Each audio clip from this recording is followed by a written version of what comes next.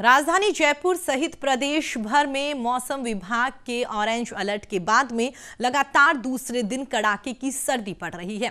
शीतलहर इतनी तेज है कि दिन में भी 19 डिग्री तापमान रहा, जबकि न्यूनतम तापमान 5 से 6 डिग्री तक यहाँ पर दर्ज किया गया। दोपहर बाद में पार्कों में लोग घूमने के लिए निकले, जहाँ पर वो धूप लेते हुए नज़र आए। जयपुर के प्रमुख सेंट्रल पार्क में भी लोगों को सुस्ताते देखा गया। जायजा लिया न्यूज़ इंडिया के प्रधान संवाददाता नीरज शर्मा ने। आप इस रिपोर्ट को देखिए और मुझे दीजिए इजाज़त। नमस्कार। उत्तरी भारत शीतलहर की चपेट में है। मौसम विभाग ने 31 तारीख तक ऑरेंज अलर्ट जारी किया है। हिमाचल प्रदेश, कुफरी, शिमला के अंदर बर्फबारी हुई है।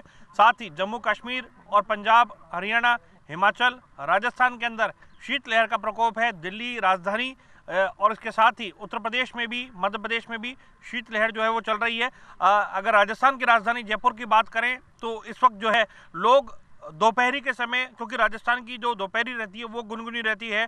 धूप का जो सहारा है, वो तपने के लिए लोग ले रहे हैं। अलग अलग उद्यानों के अंदर लोग जा रहे हैं।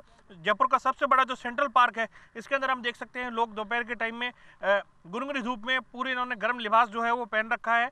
मास्क और सैनिटाइजेशन का पूरा इस्तेमाल है। साथ ही मूंगफली, जो सर्दी का मेवा जिसे कहा जाता है, उसका भी यहाँ आनंद लिया जा रहा है। सर, सर्दी के बचाव के लिए क्या क्या उपाय कर रहे हैं? कहाँ से आए आप? सर, हम यहीं से हैं, आसपास के गाँव से हैं। बट बचाव के लिए तो एक अंदर इनर पहन रखा है, पर ये धूप से बहुत अच्छा अच्छा लग रहा है। और थोड़ा सी गर्माहट फील हो रही है। कुछ खाने के लिए मूंगफली वगैरह भी खरीद ली इस मौसम में।